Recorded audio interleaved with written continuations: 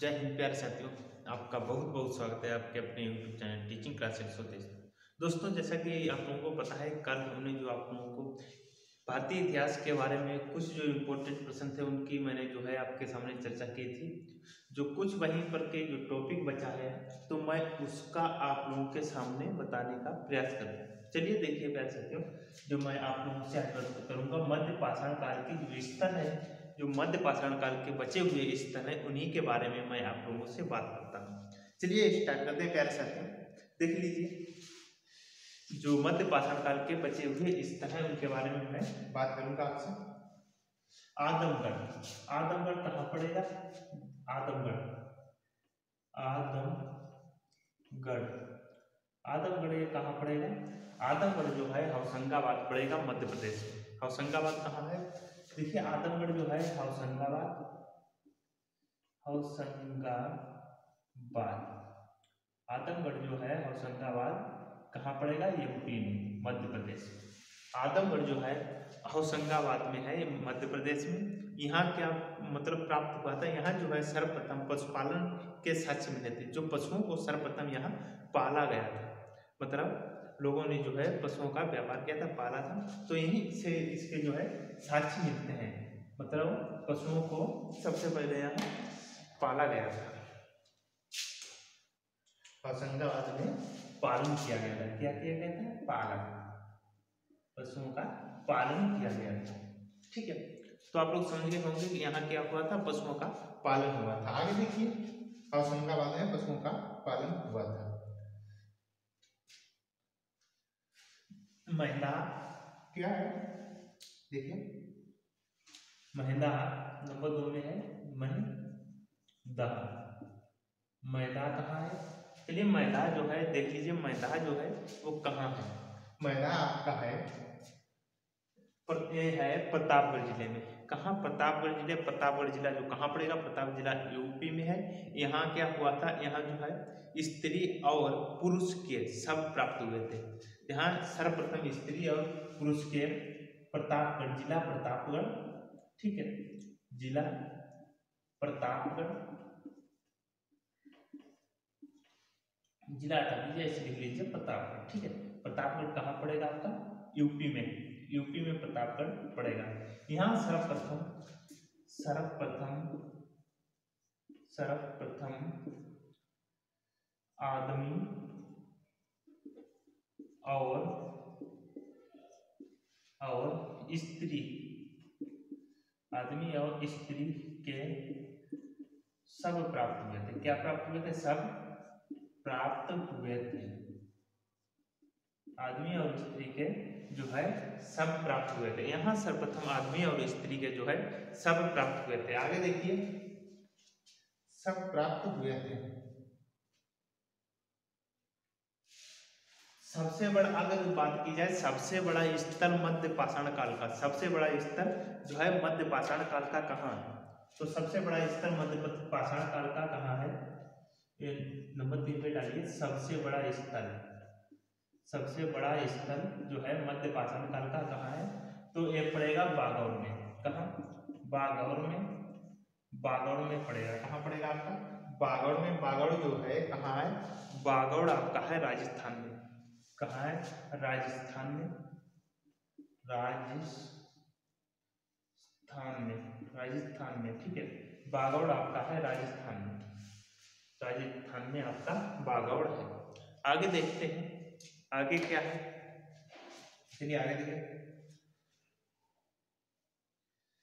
अब देखिए, पूरा पाषाण काल के अभी मध्य पाषाण काल के जो स्थल थे, अब जो है आपके सामने पूरा पाषाण काल के स्थल देखिए। पूरा पाषाण काल के स्थल डाल लीजिए पूरा पाषाण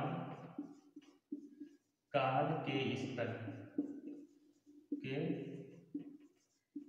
पूरा पाषाण काल के स्थल देखिए, पूरा पाषाण काल के जो है स्तर कौन कौन से मैं इंपॉर्टेंट जो स्तर हैं, उन्हीं को बताऊँगा, जो एग्ज़ाम से रिलेटेड है, उन्हीं को जो मैं आपके सामने बताऊँगा, पूरा पाषाण काल के जो है स्तर है। ठीक है? उन्हीं स्थलों का मैं आपके सामने बताऊँगा। देखिए, नंबर एक, भीम बेटका। क्या भीम बेटका? भीम बेटका की जो गुफाएँ हैं, भीम बेटका भीम बेटका की जो गुफाएँ हैं, ये कहाँ है? शैलाश्रय में शैलाश्रय में है। कहाँ है? शैलाश्रय में है। शैलाश्रय चित्र रायसेन, मध्य प्रदेश में है। शैलाश्रय।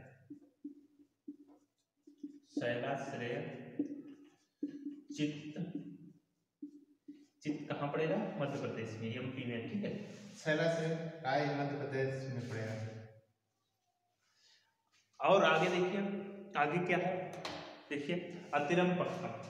क्या है? अतिरम पक्कम जो है मद्रास में। अतिरम अतिरम पक्कम। पक्कम ये कहाँ पड़ेगा? अतिरम जो पक्कम है आपका। मद्रास में पड़ेगा। कहाँ पड़ेगा? अतिरम पक्कम है जो आपका मद्रास में।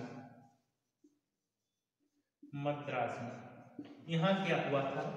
अतिरम जो पक्कम है मद्रास में पड़ेगा। यहाँ हुआ क्या था?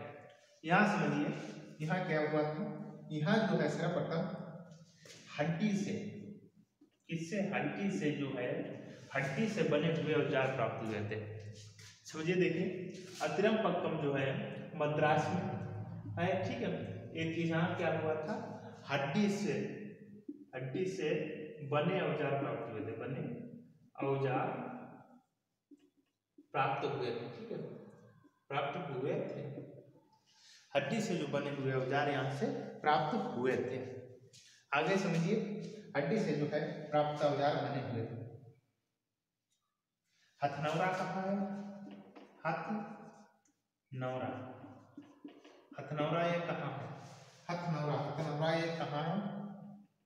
चलिए हथनौरा देख लीजिए। हथनौरा हथनौरा कहाँ है?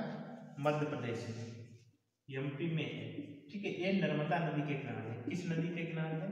नर्मदा नदी के किनारे नदी के किनारे ये नर्मदा नदी के किनारे है। हथनौरा मध्य प्रदेश में नर्मदा नदी के किनारे है ठीक है हथनौरा जो है नर्मदा नदी के किनारे है मध्य प्रदेश में स्थित है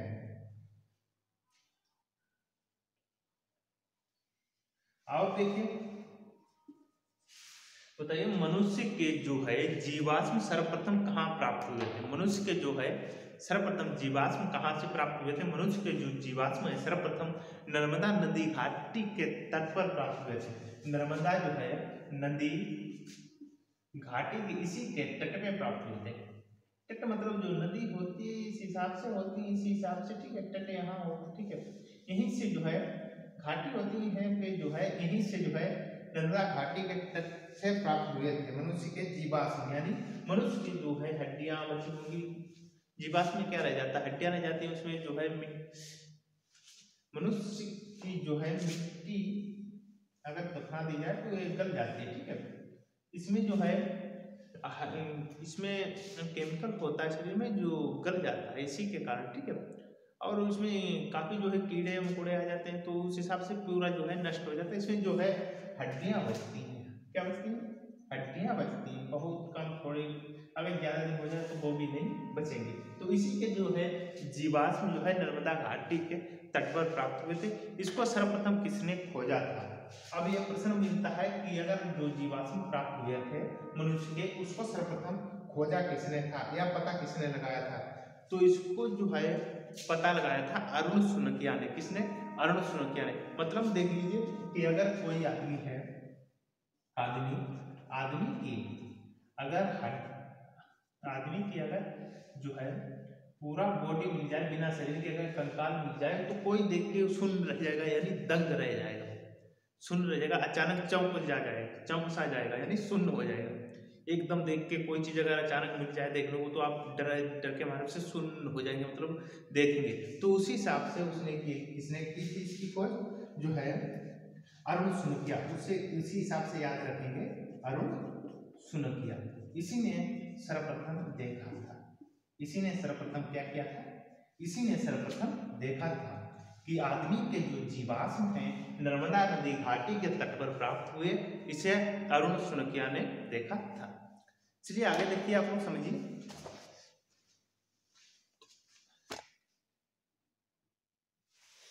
आगे देखिए आदि ऐतिहासिक काल।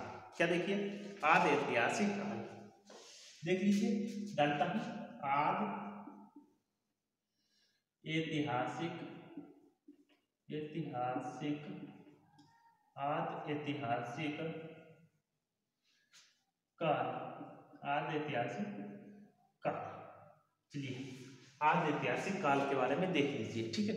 आद ऐतिहासिक काल है क्या क्या है, इसके बारे में पूरी जानकारी मैं आप लोगों को बताऊँगा। चलिए स्टार्ट करते हैं आदि ऐतिहासिक काल। इस हिसाब से, ठीक है, देखिए। लिपि। लिपि में क्या था? लिपि लिपि में था, ज्ञान तो मिला। लिप में क्या है? ज्ञान तो मिला। लिप का मतलब क्या है? ज्ञान तो इसमें मतलब जो है लिप का ऐसे समझ लीजिए, इसमें ज्ञान तो मिला। यानी ज्ञान तो मिल गया था इसमें, ठीक है? ज्ञान तो मिला था, लेकिन लेकिन अच्छा ज्ञान तो मिला था, लेकिन कोई इसे समझ नहीं सका, यानी पढ़ा नहीं जा सका, या पढ़ा नहीं गया। पढ़ा नहीं जा सका, या पढ़ा नहीं गया। तो इस हिसाब से समझ लीजिए जैसे आप डॉक्टर की भाषा समझिए। डॉक्टर की भाषा जैसे कोई सिर्फ़ लिखेगा तो कैसे लिखेगा? ऐसे लिखेगा, ठीक है? तो ऐसे लिख लीजिएगा पहले, फिर ऐसे लिखेगा।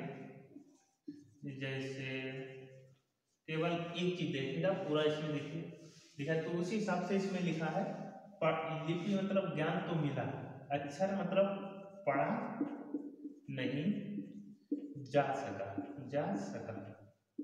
इस हिसाब से समझिए। जैसे अभी डॉक्टर के पास गए तो मतलब जैसे वो पर्चा देता देता है, उसमें कुछ ना कुछ लिखेगा। ठीक है, पर्चा देता है तो उसमें कुछ ना कुछ लिखेगा, ठीक है। उसमें मतलब दवाई लिख दी आपकी। ठीक है, दवाई लिखती है तो आप उसकी जो है भाषा नहीं समझ सकते। बहुत कम लोग हैं जो उसकी भाषा समझ सकते हैं, ठीक है। सबसे ज़्यादा उस उसकी भाषा जो है मेडिकल वाला समझता है। कौन? मेडिकल पे जो मतलब दवाई देते हैं, वो लोग ज़्यादा इस भाषा को समझते हैं। तो इस हिसाब से डॉक्टर जब इसे मेडिकल पे गए तो मेडिकल दवाई उसने निकलवा ली एक रूम में। दवाई निकलवा ली उसने पूछा कि भैया इसे जो बता है मतलब इस पर्चे में जो है क्या लिखा है? ठीक है, इसमें इतने में नाम पड़ा होता है, फिर यहाँ पे वो आ रहे कुछ करके लिखता है, फिर ऐसे लिखा ठीक है। तो बताइए भैया इसमें जो है क्या क्या लिखा है? तो उसने मतलब मेडिकल वाले ने ये लिखा है कि मैंने तो इसे मतलब लूट लिया है। मैंने तो इसका जो है रुपए बर्बाद किया या लूटा है, मैंने तो खर्चा इस पर करवा लिया है, ठीक है। अब जो बचा हुआ इसके पास पैसा है, वो आप इस पैसे को ले लीजिए। मतलब जो बचा है पैसा, उसे आप लूटिए। ठीक है? तो उस हिसाब से तो भाषा मतलब है, कोई समझ नहीं सकता है डॉक्टर की तो उसी हिसाब से यहाँ पे बात की गई कि इसमें लिखित साक्ष्य तो मिलते हैं, लेकिन पढ़े नहीं जा सकते हैं। तो लिखित साक्ष्य तो मिले हैं, लेकिन पढ़ा नहीं जा सका। समझ गए होंगे आप?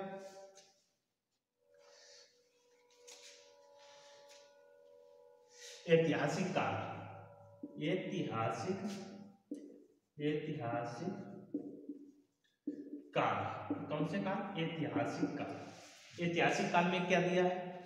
वो भी समझिए। ऐतिहासिक काल में क्या दिया है? ऐतिहासिक काल में दिया है कि महाजनपदों के उदय से छठी शताब्दी मानी गई। महाजनपदों के उदय से कौन सी शताब्दी मानी गई? महाजनपदों के उदय से छठी।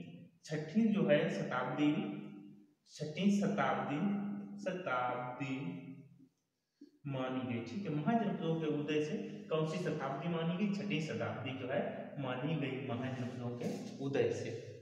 छठी शताब्दी मानी गई थी महाजनपदों के उदय से, ठीक है?